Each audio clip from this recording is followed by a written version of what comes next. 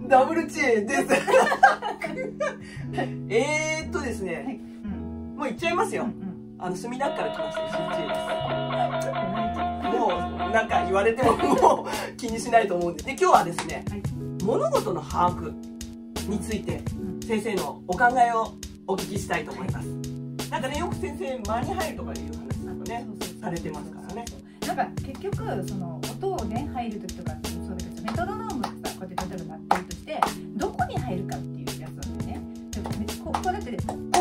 かここに入るのかここに入るのかみたいな感じでまあまあその人によって音取りって前取りの人もいたり後取りの人もいたりするんだけどそれと同じように音程っていうのもそのあの音程を目指すっていうのもあるんだけど何々と何々の間に入る。まあもっと言ったらその例えば家を遊びに行こうとしてそれでその例えばマンションだったらさ3階の何号室とかだったら3階っていうのは2階と4階の間であって、まあ、306だったら307と305の間だったりするんだよね。でも私たちってすごいそういう見方を実際本当はしてるんだけどどどうやらそのチョイスするっていうかそのその間に入るってことではなくてそれを見てそれを目指してるみたいな感じで思っちゃってる人があって。なるそ周りを見てない。でその周りを見ないでそれを目指しちゃうみたいな感じになってることがすごくあるのよ。で音の時も特にそうなん音程悪いとかっていう場合はあの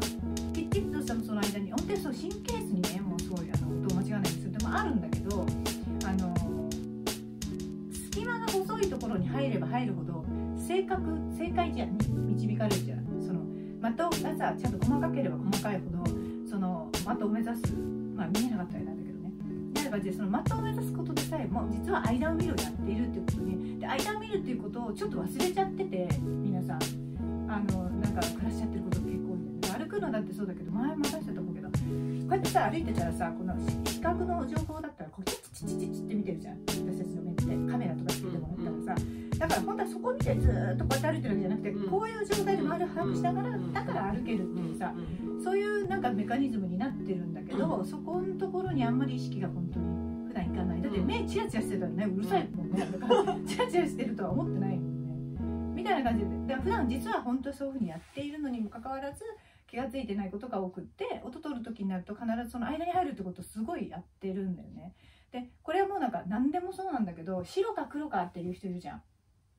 グレーっていうさあるんですよ。ね。そのグレーゾーンっていうの。は本そのいわゆるグラデーションのみたいなところとかあってまあ本当はあのメロディーは、うん、とこうこういうメロディーラインとかってみんな思ってると思うんだけど、まあ、一つ一つ毛並みのようになってるから、おななぜなら音程っていうのは、うん、と重ならないのよ絶対に。あの音の高さ。こういう切り方はしないから音程って。音程はずっとこういうものだから絶対ぶつからない本来は。う。んうんうん、なんか音がぶつかる音がなったりすることがあっても。だからあの見え方として、うん、とこういうラインで通ってるだろうと思ったらそれは違うけどでもそのそのこれの間に入ってるこれの間に入ってるってことでこう別々に分かれたものはつながって聞こえるっていうなんか、まあまあ、結局そこも錯覚ポイントになるんでね。うんでもその間に入るっていう方法をあのまあ本来知らないで通ってて一回でもさ六本木でさい。六本木のライブハウスに行こうと思って初めて行くところでそのライブハウスに電話をかけたのね。そしたらその道順を教えてもらえますか、って言ったら、うんアマンドの前をまっすぐ行って、うん。オレンジ色のなんかなんかあののれんがあるところをなんとか行って、うんって言ってもうロアビルを通れとかで言わなくて、うんその子の目線で、うんうん。その言われたことがあって、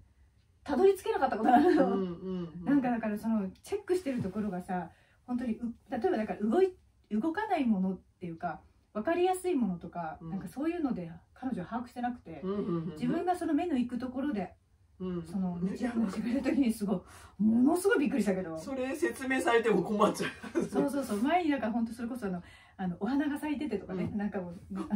ヘンゼルとグレーテルかっていうまあ話もあるんだけどだからそのやっぱりみんながそのどこを目指して歩いてるかっていうか、うんまあ、道を行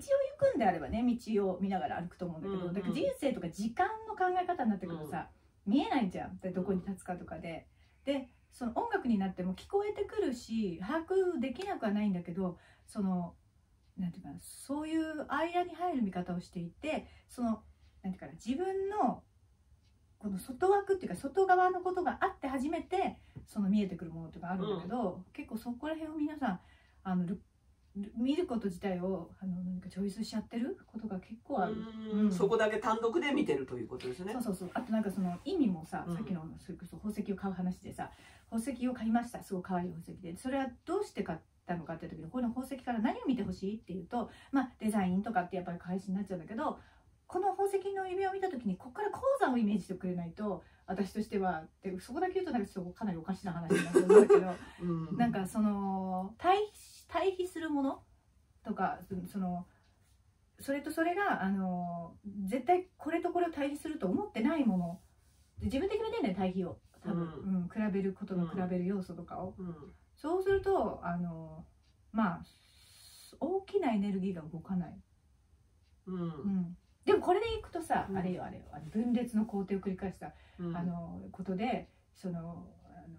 あのニュークリアスができた。あの何ができた核核爆弾を作ったで分裂が結局最大の、まあ、攻撃力になっちゃってああいうものにできる。まあだはあの発明自体は素晴らしいんだけども作ったものがちょっとねまあでもまあそういう時はそういう能力ある人はいるからそういうものなのかなって気もするけど。だからそのこう分裂の工程を繰り返してこう破壊力する力みたいなやつがすごい使われるのよ。あのあの歌う時っていうか音楽の時まあ、それがその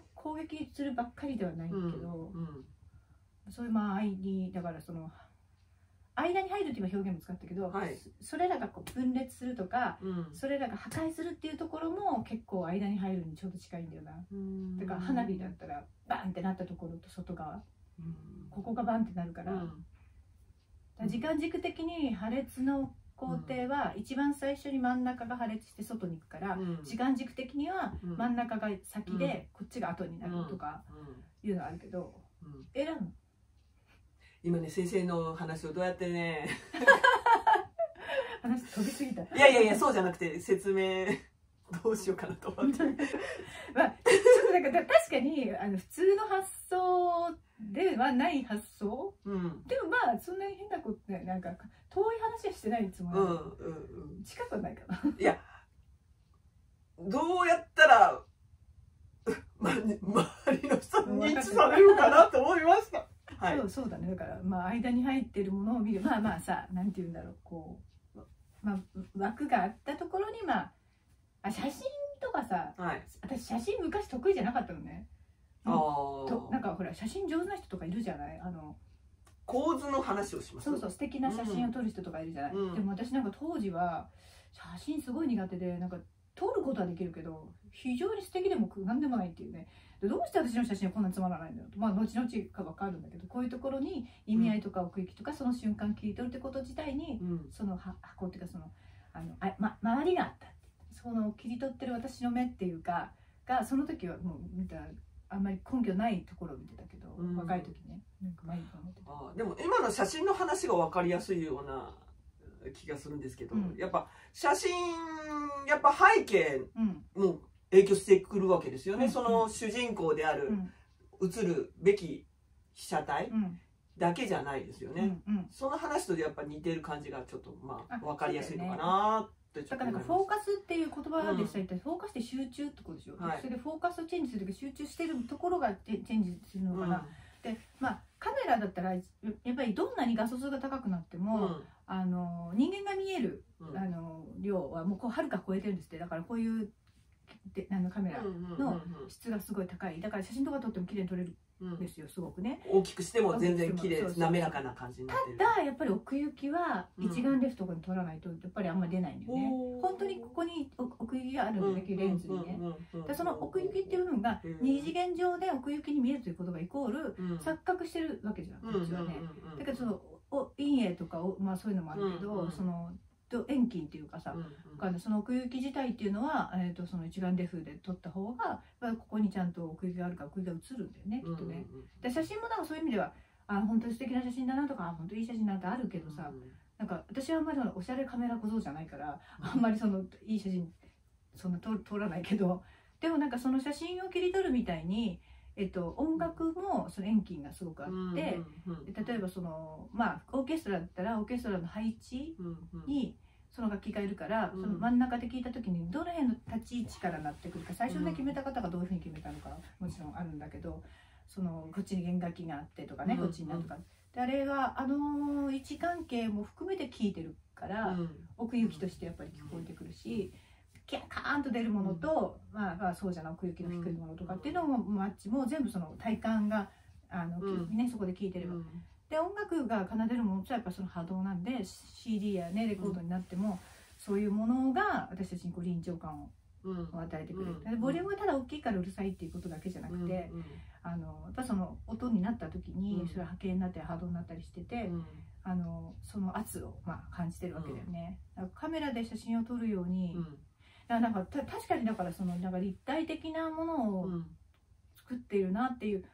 音楽を作ったりとかする時うん。にやっぱり思ってて、まあ、どう組み合わせるかって、まあ、正直お洋服とかを、あの並べるみたいな感じでもあるんだけどだから全て今さ言ってること根本に、まあ、視界においてうん。その何々と何々の組み合わせなんかを見てるとしたら、音ってほら見えないから、うん。だからそれをこう視覚野の方に落とすっていうのがまあすごく大きい。あのっていうか分かりやすく理解しやすいっていうことですよね。そうそうそうう。ん。で譜面になったらそれは本当に見えやすいから、うん。で譜面はその見えやすいようにできてるけど、うん、と縮図であって、うん。実際の体感の縮図ではないから、うんあのさらさらねさらさらかけたりさらさら読めたり、まあ、するばっかりじゃもちろんないんだけど、で自分で分かるところにこう落とすっていうか、うん。それはねやっぱり自分でやんないと無理なんだよね。そう。そそこの話ですよね多分。あの自分のサイズじゃないけども、うん。その自分の把握のところに持ってこないと、う。ん。それそれが一人一人一人違うって考えても大丈もうね夫ですか一人ちょっと考えあだから遠からねあだからその曲,、曲で言えば、まあ同じとことその違うとことはあるけど、うん。うんでもその自分じゃないとだって分かってないことになるもんね。うんうん、まずそこがそう理解できて相手にも説明もできたりとかまあ相手と交わることができるっていうんですかね。説明ができるということは。学校のさだだけどなんかだ勉強とかでもそう勉強できる人ってさあのもうすごく暗記で勉強できる人も中にはまあいるかもしれないけど、あのまあある程度のその点数取るとか、まあ、ある程度の学校に入ってるとかある程度こういうものを通過してきたってことで平均的に大体そういうことうん。だなっていうのは分かるじゃない？だからまあ学歴とかもちろんそのそういうことが出てくるんだと思うんだけどあのでもさこれ勉強もそうだと思うんだけどすっごい勉強面白くなる人って多分そこまでいってんだよね。うん、そうでしょうね。うちのメイなんかもめちゃくちゃそうなんだけど、前に来てた生徒さんで「僕勉強したこと一回もないんです」って言ってて先生もそうそうじゃないですか。私はでもそう勉強はしてないけど、やっぱね。だから把握だからその自分の把握の力を伸ばすと自分自身がそのちゃんと把握していることを自分で把握するっていうかうん紐解くっていうのかな、うんそれなんかボイトレをぶあのボープとかやってもらうときに、まあ、一応そのちょっとやってるサンサンプルとかレッスン風景とかもちょっと流してるんだけど本当はその人との間の話だから、まあ、うん。それだけ見てもあんまりよくわかんないと思うんだけど、他人様にはね。うん、だから、まあ、YouTube こういうのであの話してる話は、まあ、興味持って見てくださる方がいてすごい全然ありがたいんだけど自分でやるっていうところになると結構その声を自分の声がどういう道を通ってるかっていうのを自分で把握していくと本当に気づいてないこといっぱいあってあとなんかだから正直そのもちろん歌のことやってるんだけどどんなことにも必要なこととかあの本を読んだり人の何かを見て経験を自分の経験のように思えることも疑似体験的なね、うんことがね。もできるけどでも自分の体験に落とさないといけないから、その自分の体験に落とすところがなんだろうこうものを知っていく上でなんか猿真似の話を前にしたけど日本人間だけなんですって真似すの猿真似っていう状態で真似するのは。うん。でお猿さんとか見てなんかやることあるけど、実際はなんかその真似ていくっていうことってうんあのまあ人間が特にやることって。うん。そしたら何かを見て判断して何かをするわけじゃない。だからもともとその本能で持ってるものでこう発動してしまう。なんか喉が渇いたとかねなんかトイレ行きたいとかっていうのはあのあっても、うん。そのす自分がこうそれを見たからそれをいや理解してそうなのだって言ってるチョイスがうん。だって日本いや地球上にあるもの全てを把握できるわけないしね、うん。だからそのやっぱりみんなななんだそのチョイスの世界で生きてて、あのその人その人の世界があるっていうか、うん。その同じ家族だったとしてもさお父さんの世界お母さんの世界その子供の世界とか例えば双子だったとしてもさその世界は違うと思うんだよね。